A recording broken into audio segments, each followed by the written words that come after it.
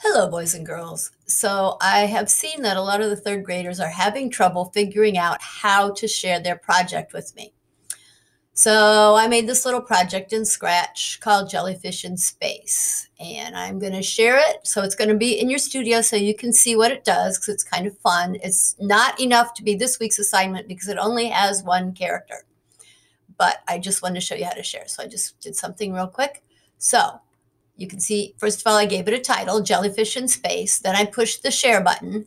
Now, couple things I would like you to do.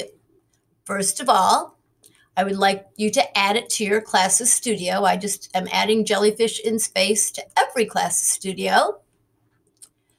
But then to give it to me in Schoology, you have to go here and say copy link. And then you have to copy the link like that.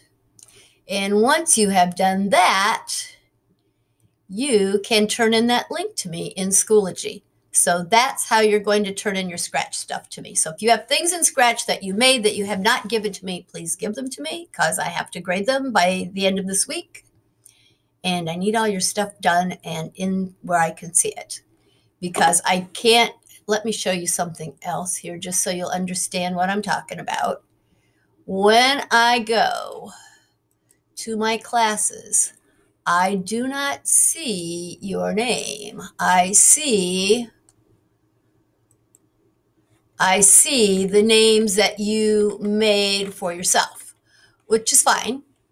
But if I'm going to grade it, you have to give it to me in actual Schoology because I could A, I could only grade it in Schoology, and B, I need to know that it is you.